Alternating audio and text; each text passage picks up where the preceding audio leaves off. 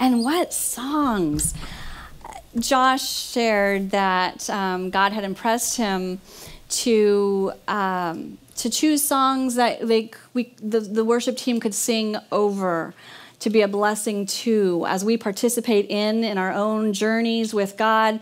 But He wanted it to be something that ministered to you, and boy, did that ever! God knew what He was doing in planting that that seed in Josh's heart, and it just dovetails so beautifully with where we're going today. Chapter eight in John. Uh, we're talking about the woman caught in adultery and brought the Pharisees brought her to Jesus and oh my goodness, talk about being a friend of God. She certainly discovered that. And when God's kingdom comes, what happens? Chains are broken. And uh, she stood there at the end waiting before God said, Go and sin no more and start a new life. So all these songs were perfect. Go ahead and open your Bibles to John 8. Hopefully, you have already read the chapter in preparation. If not, um, just pay attention to grace notes and just kind of follow through. Uh, each week, we're following up a different chapter and uh, studying the Word of God and seeing how we see Jesus more clearly through it. So we know chapter 8. We know chapter 8 by the story of the woman caught in adultery. This is where, you know, a little bit of racy story in the New Testament. We get lots of them in the, in the Old Testament. This is our, our token story in the New. Um, but what we have after that, do you know what the rest of chapter 8 is about? We have that great story everyone knows, and then what? Well, I discovered then what, a little more closely, the rest of chapter 8 is a conglomeration of Jesus' teaching. Well, conglomeration, it could have been he just, you know, went on and had these, these discussions with the scribes and Pharisees and the, the people in the temple courts there as he taught. Um, typical in John fashion, here there's a point of Jesus that's brought up, there's discussion, there's debate, and then Jesus teaches and, and has a point made. Um, biblical scholars kind of wade through this. They're not sure if, did John just roll all his teachings in this particular place all just kind of boom, boom, boom together, or was this truly what Jesus taught in, in sequence? Either way, um, why? Why the story? Why in chapter 8? Why was it laid out that we have a story of the woman caught in adultery and then the teachings of Jesus? And the teachings, when you start reading through them, they feel like they're kind of all over the place. And so when I was studying this, I, I had to pull back and say, okay, I only have, what, 30 minutes or so um, on Sabbath morning. So how do you pull this all together? And so I try to pull back and say, what's the bigger picture? What's the theme? why what was jesus trying to teach and why did he continue going round after round with these irritating religious leaders who were out to kill him why did he continue engaging with them and so i've had to stop and think well what's the whole bible about what's jesus' purpose why did he come in the first place it's to show us who god is right? Jesus always is coming back around to he's come to reveal the heart of God, who his love, who he is, his love for us, his purpose, his plan for us. And that's throughout scripture. The whole theme throughout the Bible is revealing the heart of God for us. And so, in all that we see and hear, whenever Jesus shows up and whenever he's speaking, we must find a way that that points back to what his purpose was. And so when I started looking at that overarching direction, then I started seeing how each of these pieces that seemed so disconnected in some way, they started to kind of make sense. And his perseverance was profound. And he kept coming back around. I want you to know who I am. I want you to know who I am. You keep calling me by the wrong things. You keep associating me with the wrong concepts. You're getting the wrong view of God. I want you to know the truth. I want you to know about me because then you'll know the truth about God. And then you'll find life. And so when we look at that theme and we put it and look at it with the chapter of John, it starts to connect in a way the disparate parts start to connect. So we're going to dive in first with a story that we know so well The Woman Caught in Adultery, chapter 8. I'm not going to read it, I'm just going to overview it. I really wish the title could be changed, um, which there's really no title. We just kind of say it like that. But I really think it should be named The God of Mercy Caught in Action. Not the woman caught in adultery, but the God of mercy caught in mercy. The God of mercy caught in action. Some preliminaries. So the story is the Pharisees and scribes, they find this woman, they, they catch her in the act of adultery, and they bring her to Jesus um, to say, What shall we do with this woman? Now, if a question back then needed to be settled, it was common practice you find a rabbi to answer it. So they, when other times they're disparaging his name, uh, here they're saying, oh, well, you're a, you're a rabbi, you're a teacher, so you answer this question. Adultery, especially back then, well, it should be any time, but especially in the Jewish culture, not taken lightly at all. They, as a matter of fact, they had a saying that you must die. You better die before you would be found guilty of idolatry, worshiping idols, murder, or adultery. So it's better for you to die first than to get involved in any of those three. Of course, if you don't choose to follow that saying, they'll make sure you die afterwards because the punishment, especially for adultery, was death. No way around it. Death was the penalty, whether you are a man or a woman. Now, if you're a man, you might have a different way to death. It doesn't necessarily have to be stoning, depending on the situation. Could be strangulation, so much better than death.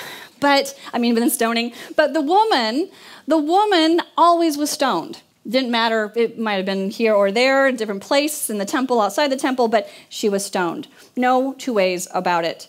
So they bring this woman caught in adultery no wiggle room for the law of Moses. And so they set her before Jesus and they say, So tell us, Rabbi, what shall we do with her? It was clearly a trap because three options he had.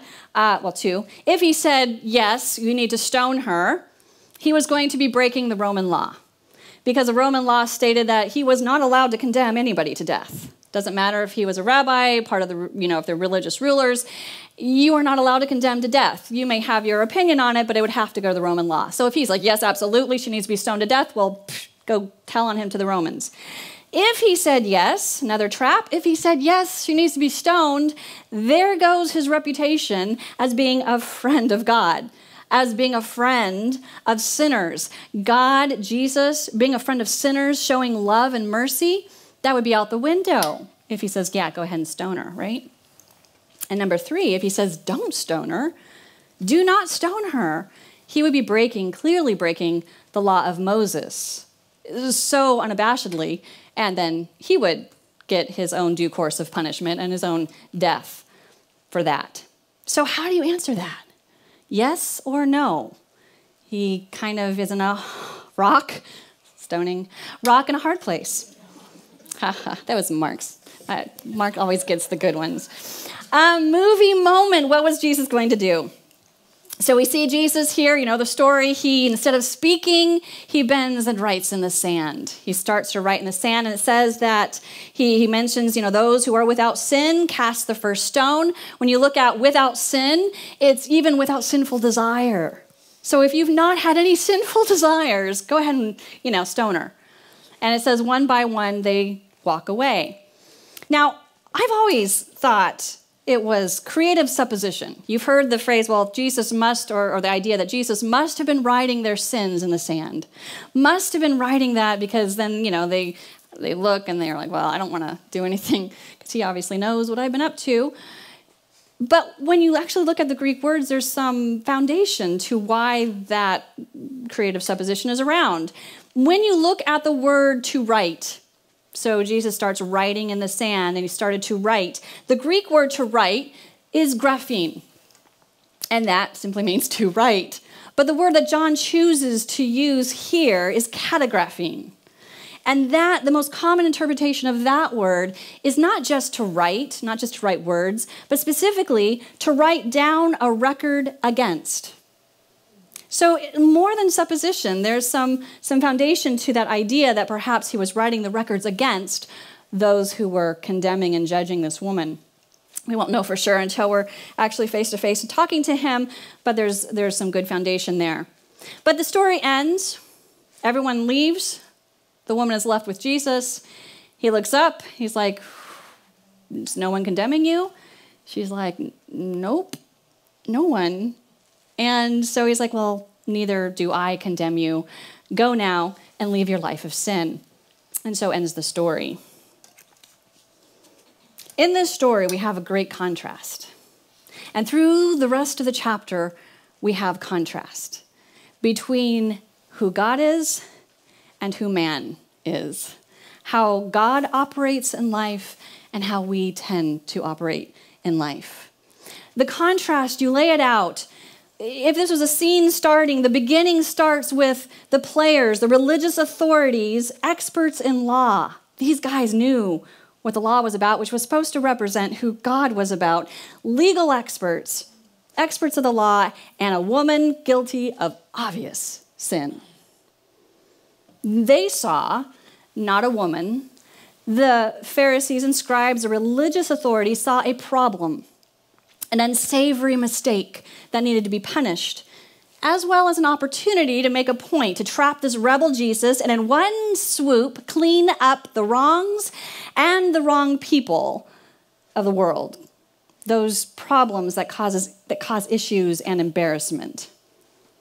Their attitude, critical, condemning, moral watchdogs of everyone, unsympathetic, and unforgiving. And so, thus, their duty here we have a problem. It is our role to be a moral watchdog. We need to take care of this problem. Our duty is to make sure she realizes her grave condition, feel bad for what she's done, and punish her to the point of death. Get rid of her. That's the beginning. That's how the story starts. How the story ends is you have God, God, the expert on life and love. And you have the woman still there, still guilty of obvious sin. God saw, Jesus saw, not a problem, but a person. He saw a person in a human vessel, imperfect, yes, but somehow Jesus was able to see beyond and see hopes and dreams and see a heart that wanted to know true life. He didn't see a problem, but a promise for a life of possibilities. Here was God.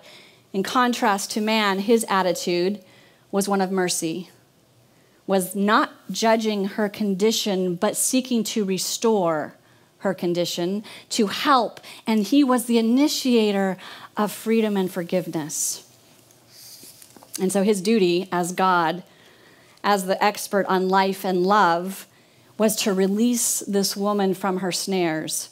His duty as God was to help her be free and to find true life. The contrast between man and God. Both had authority. Did they not? Both were experts in something. God, of course, had the, the upper hand. He was expert on life and love, but the experts of the law, of the legal system. And with power, you've heard this, with great power comes great responsibility.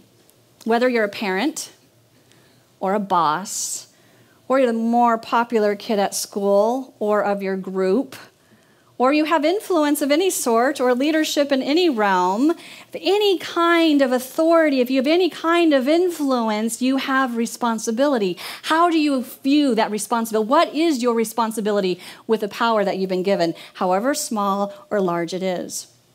Well, how you view that affects how you act. When we look at the scribes and Pharisees, they clearly saw that their responsibility was to judge, was to make a judgment. They saw the responsibility as to be in a position to stand over and point out the errors and mistakes of others. And I believe they got this interpretation, that this was their role, from their understanding of who God was and importance of the law to God. To them, the focus on doing right and not doing wrong, on behavior more than relationship, is what they saw as being pleasing, utmostly pleasing to God.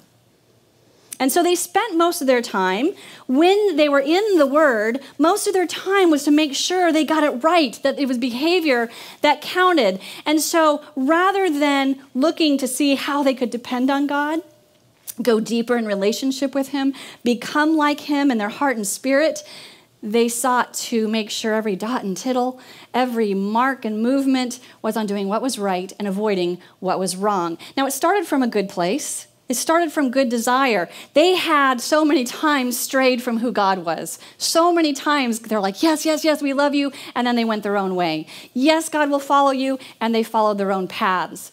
And again and again, God had to keep bringing them back. And so they decided, We are never going to stray from God again. We're going to follow every single thing He tells us beyond what He tells us, every every single thing we can think of to follow, that's what we're going to do. And pretty soon, that focus on making sure they were doing the right thing usurped their focus on being right in relationship with God.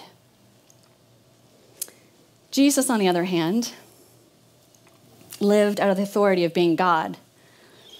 And what we see translated as we see, how did he interpret then his responsibility is how he responded to those who were struggling. And what we see that he views as his responsibility with power was to love, was to show mercy, was to set free, was to walk with, was to draw people to depend on God, to believe and trust in what he could do on their behavior, in them, through them, for them. His view of authority was to heal to help. A responsibility of someone in power was to help people sink themselves into a life that was Godward, into His Word, so that they might not just obey Him, but know Him and love Him.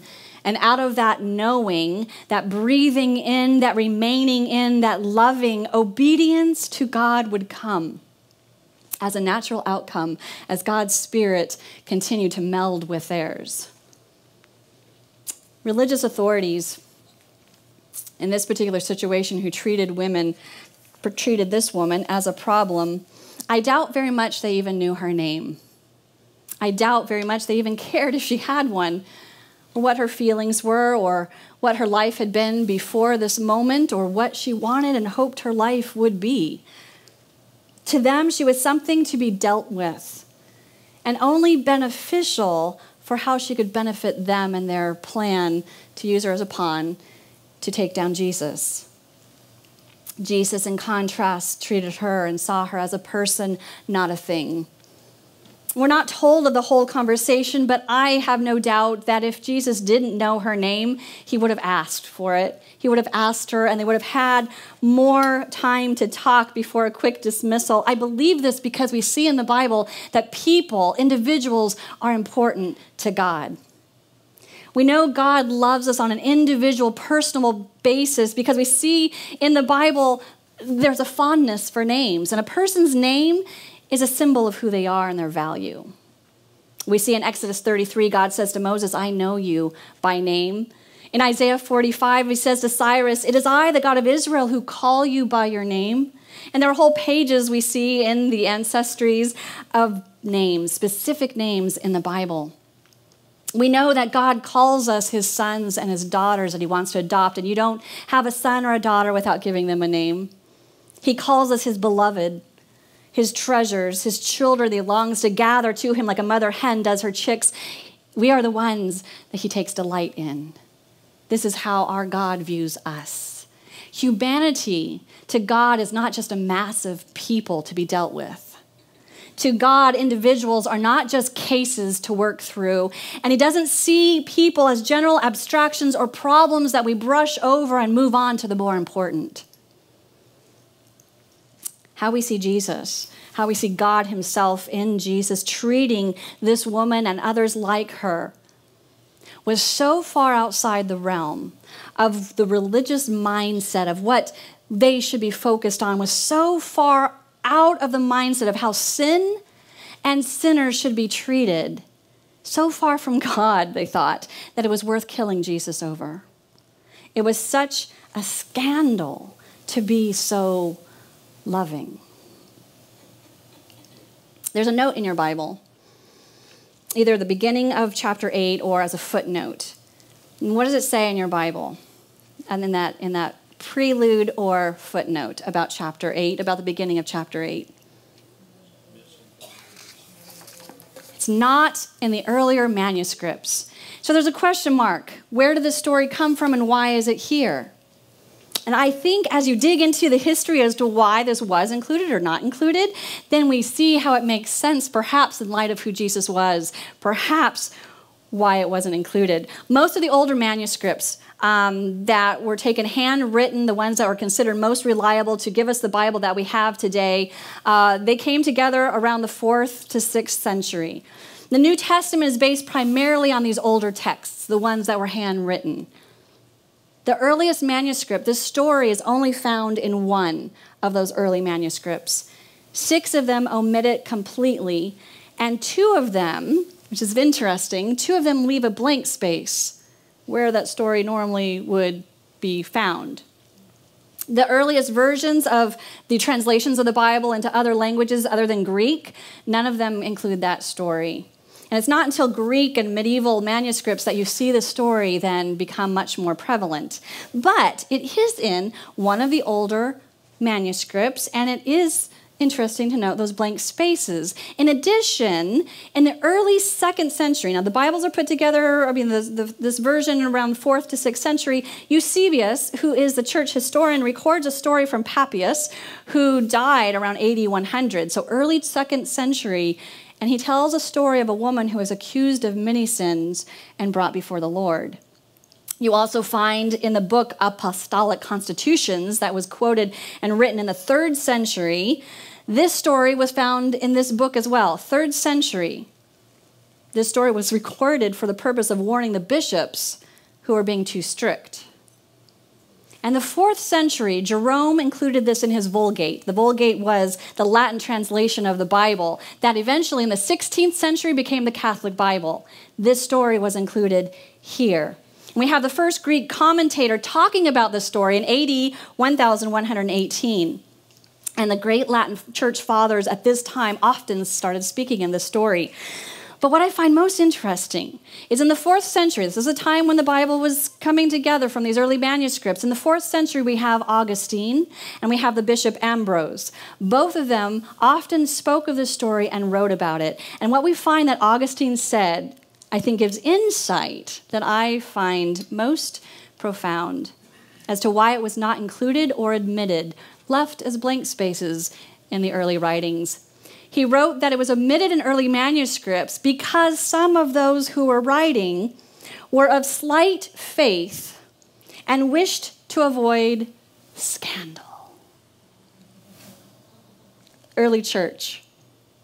Early church, surrounded by pagan cultures, they wanted to have the high road to help people set themselves on a, on a higher way of living, trying to forge eternal quality kind of living. And how do you include this dangerous story and include this when people could take it and run with it. What if they saw that Jesus has this light view of adultery? That kind of mercy, that kind of grace, so scandalous that they feared including it, feared that this wild kind of love and grace associated with our God might just lead people astray into more sin, and so they admitted it altogether. Now, it's a theory. We don't know, but it makes sense when you see that the Pharisees and scribes wanted to kill Jesus over such scandalous kind of grace. And so it makes sense that it perhaps would be omitted from that. They wanted to kill him back then for it. It seems likely that it was killed in the manuscript centuries later. The question is what are we doing with it? How we speak and act. Are we furthering this trend? Of killing the scandalous love and mercy of God? Or are we finding ways like Jesus to let the ways of God, the heart of God, be seen in scandalous truth and light? What are we doing with our words? What are we doing with our actions with those who make mistakes? This is where it gets personal. This is where the story gets personal. When someone you know close to you makes a relational mistake or wrongs you in some way, doesn't respect you, or when you see them failing to keep in line with what they know to do, that's right and good, but you keep seeing them fail. They live a life that is far from what you or they know is pure or right or good. When a person keeps sinning over and again, and when they're failing and they're floundering, what's our view? How do we respond?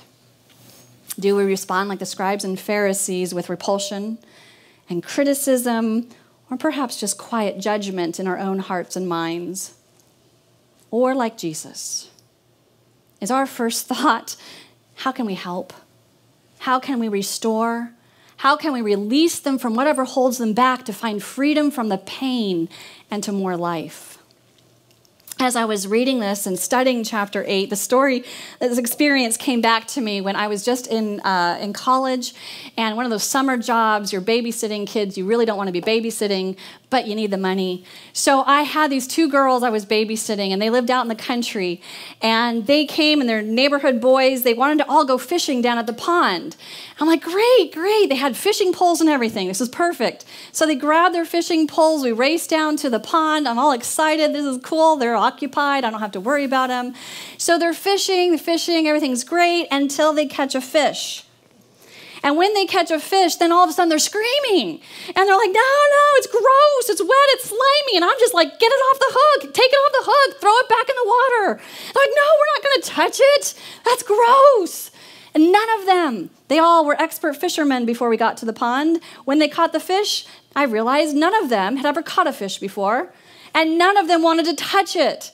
Now, for me, I uh, apologize to you fishermen who like to catch and eat the fish, but I like to set them free. And so I'm like, take it off the hook. Finally, when I realized they would not, I had to get up close and personal with this fish. I had to be the one, because I didn't want the hook tearing the fish's mouth. I had to hold the slimy, yucky, wiggling fish. I had to help remove the hook and put it back in the water so we could have freedom and life again.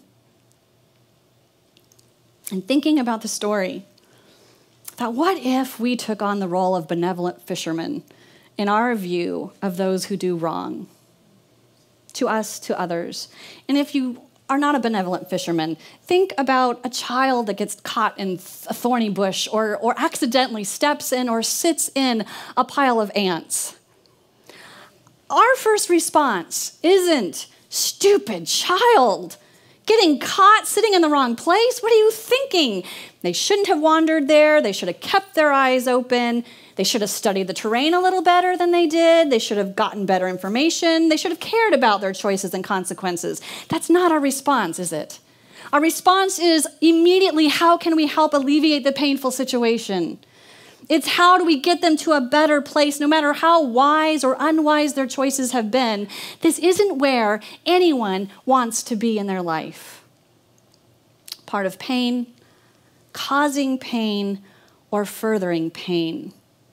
So, how can we respond in a way that helps restore and release pain and moves us back to life? I think the sooner that we can get to mercy and love rather than blame or judgment, the more in the Spirit of God we'll be dwelling. And the deeper we'll be able to go into living in the very center of His will for us here on earth, and the freer we will all be. I believe it's up to God.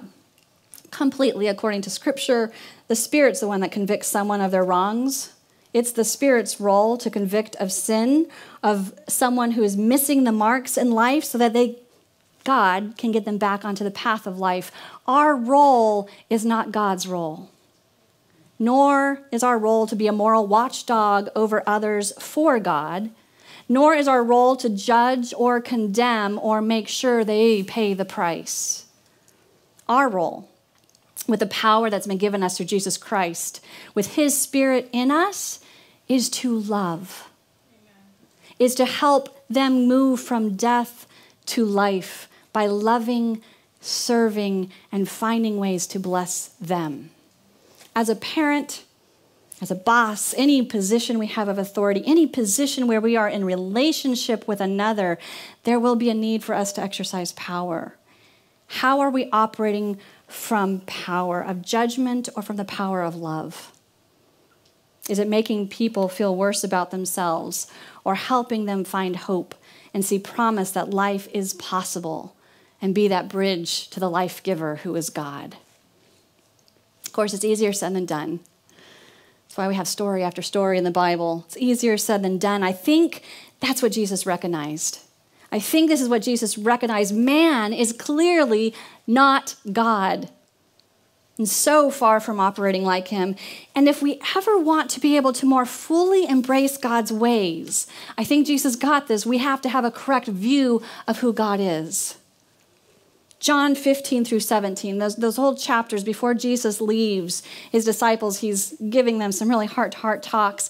And in those chapters, he says in many different ways to know God is to love him. And to love him is to want to remain in him, sink yourself into him, and to obey him, and to love like him.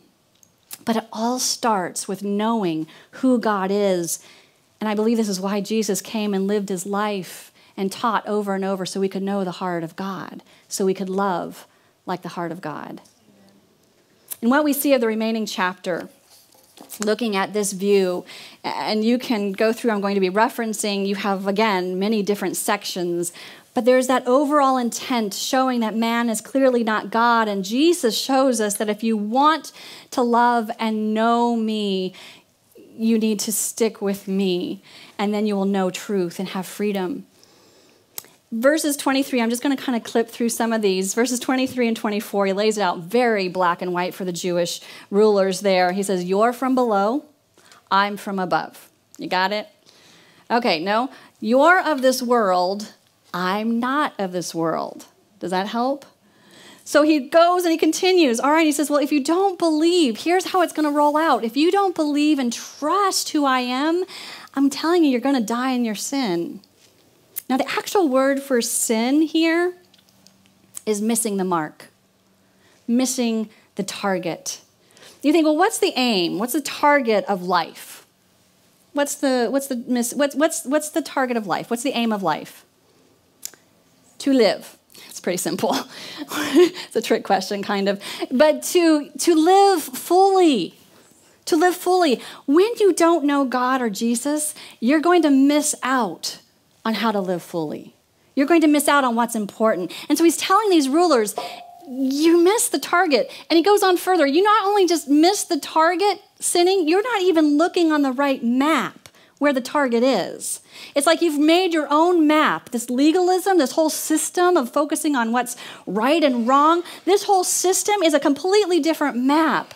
And when you make the conclusion that that's who God is and that's what life's about, you're going to miss the mark because the mark isn't even on that map.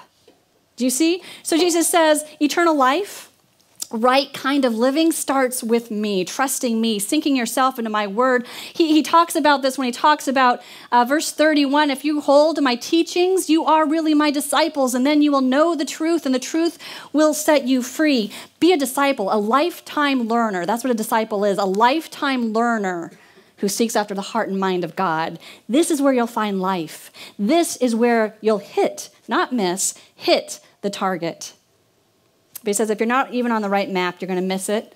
And whatever isn't life is death. So if you want life, you got to know me. But throughout the rest of the chapter, throughout different verses in the chapter, verse 14, 19, 28, 54, Jesus repeatedly tells them, But I'm telling you, you don't know me. You don't know me. You don't know God, the one who sent me. You have no idea. You don't know me. And in verse 25, they confirm this by saying, Who are you? Who are you? After the incident of the woman, after the incident of the woman, Jesus lays out in the following verses who he is. And again, he contrasts this with who man is he starts off in this in this whole experience looking at the way that that he handled jesus handled the sinner justice versus his way of mercy. And he goes from there and he shows who these religious rulers have become by creating and looking at the wrong map the wrong target. And when their versions of the law when they think that's what pleases god he warns them if you don't get on the right path you're going to experience death and so, this contrast in verses, you have him contrasting in verse 15 man rulers, you judge by human standards. Verse, verse um, 15, he says, I don't judge. If I had a cause to make a judgment call, you can know it would be right because God is in me and he is love. And so, my judgments, I know everything about you, and that can cause fear, but it should not cause fear because I am all about love and mercy. And so I can judge, and that will lead you to understanding mercy in my heart. Verse 23 to 24, he says, You miss the mark, that sin. You keep missing, seeing your focus is not on me, and you're following your own ways. And when he gets down, he says, But I am the light of the world. I can show you the right way to go. The light of the world, that was another way of saying I'm the Messiah, because the Jews called the Messiah, that word to them was light. Verse 34, 37, he says, You're slaves to your own focus. You're slaves in your sin. You're slaves to your legalism. You're murderers. You're so full of yourself, you have no room for the Word of God. In contrast, he says, I'm the one that offers you freedom from slavery. I offer you truth in verse 32. You see him calling in verse 44. You know who your dad is? It's the devil, darkness, evil. That's who your dad is. In D, says, You know who I am? I'm the Son of Man. I'm the Messiah who saves you from the devil, who saves you from darkness, who saves you from evil. I am the Son of Man. And finally, verse 39 through 41, he talks about how they're self deceived. They keep saying that they're children, uh, we're children of Abraham. Don't tell us what we are, we're children of Abraham. But he says, You don't do what Abraham did. You don't have the heart or the look or the feel or the genes of Abraham. If you did, you would have the faith in me. You would believe in me. You would trust in me, in God, like Abraham did. And in contrast, Jesus says, Before Abraham, I am. And he lays out profoundly there I am, not I was, but I am present, I am eternal. I am timeless because I am God. Jesus said in verse 15 he didn't come to judge. A lot of those phrases sounds pretty judgy to me. You're missing the mark, you're slaves to your own focus, you're lost in your sin, you're murderers, you're liars, your dad is the dark, evil devil, you're self deceived, you're full of yourself. Doesn't that sound kind of judgmental? But if Jesus says he does not come to judge, then why these statements? And I think if again we remember who Jesus is, rather than being condemning of the scribes and Pharisees, as Jesus is the light of the world, I think this is more of Jesus holding up a mirror to the scribes and Pharisees so they can see themselves fully and clearly. And he says, Something's not lining up in your life.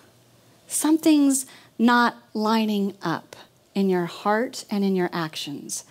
You say that you know God. You say that you love God. You say that you're children of God. But take a look, because your actions here, totally different picture. You're like missing the mark completely. And if you don't wake up, this is Jesus' call. If you don't wake up, the path you're on, the how to map of life that you're following that has the wrong targets all over it, it's going to lead to death. You will die in your sin. You will die from missing the mark. And so he says, well, if you're not filling up on me, I can tell you death is already happening. There's death of mercy. We saw that clearly with how you treated the woman there's already death happening, there's death of compassion. When you're not filling up with me, death happens. There is death of truth. When you're not filling up with me, death happens. There's death of spirit, there's death of mind, there's death of soul, there's death of humility, there is death of love. And I think it's like Jesus. He moves from interaction with them and the woman looking at how they treated this woman to what they're doing in the rest of their life. And he's saying, before it's too late, believe in me, trust in me, turn back to me, and then you will know truth the truth of who I am, and the truth will set you free, set you free to life. And when the Son has set you free, it says in chapter 8, you will be free indeed. John 10, which we'll get to in a couple weeks, we'll read that Jesus calls himself our shepherd. And as our shepherd, he calls his sheep, us, by name. He knows the path that you and I are on. He knows our struggles. He knows the good. He knows the bad. He knows the ugly of it. He knows if where we are is on target or missing the mark or completely on a wrong map altogether.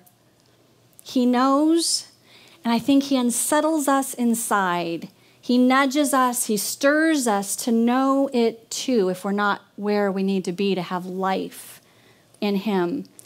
And He holds up that mirror as well, not to judge us, not to condemn us, but that stirring or unsettling with something that's not going quite right in your life, that unsettling is to offer us a different direction, a different map that has a mark on it to aim for, highlighted in bold, and the name of the destination is Jesus Christ. He has that clearly marked out because by no other name, by no other name, we knew no other name than Jesus, we would already be home. If we knew no other name but Jesus, we would have eternal joy and peace and hope.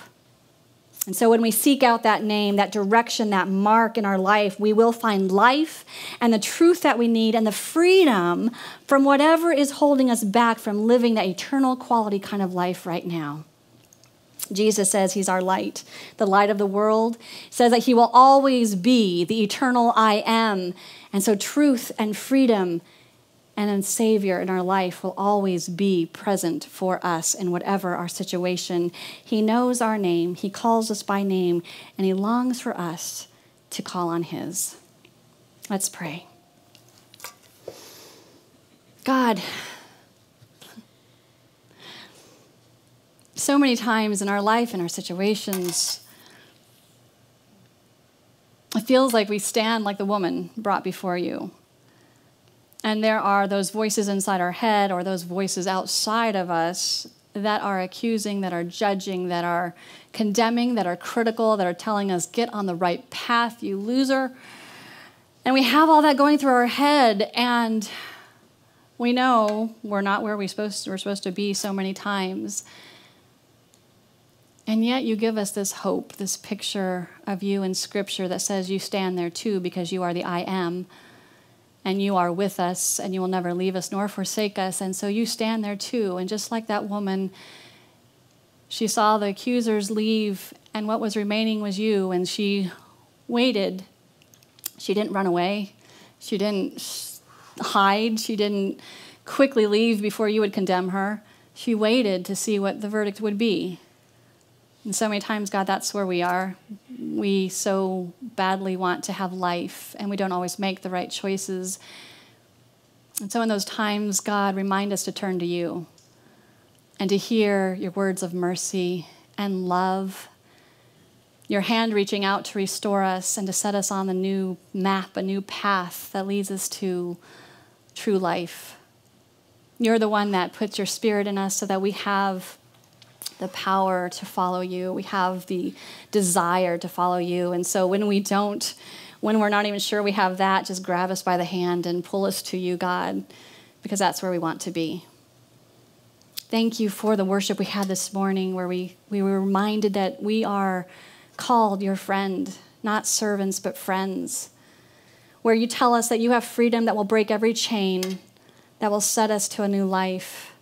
And all we have to do is wait on you, not run, not hide, but stand there and wait for you to do and to show and to be our Savior. Thank you so much, God. We thank you so much. We love you. In your name we pray. Amen.